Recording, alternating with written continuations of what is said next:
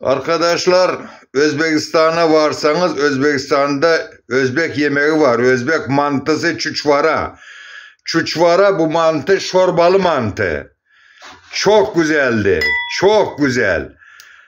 Tren yol stasyona varsanız Taşkent'te her bir yerde var bu.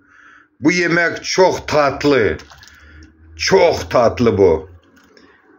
Çuçvara, Çuçvara'ya gelin arkadaşlar. Müslümanlar gelin Çuçvara'ya gelin. Özbek Çuçvara'sına. Şorbalı mantı. Özlüm ölüm bu çok güzel yemekti. Çok güzel arkadaşlar. Özbekistan'a varsanız siz deyin ben çuçvara istiyorum. Çuçvara yapın bana deyin. Çuçvara çok güzeldi. Ee, bu mantı e, bu ne böyle mantılar çorbada.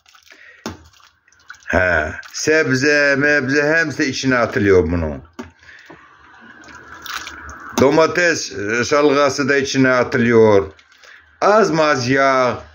Çorbasını da içiyorsunuz, mantısını da yiyorsunuz. Başınız da pek oluyor, canınız da sağ oluyor. Allah sizi saklasın.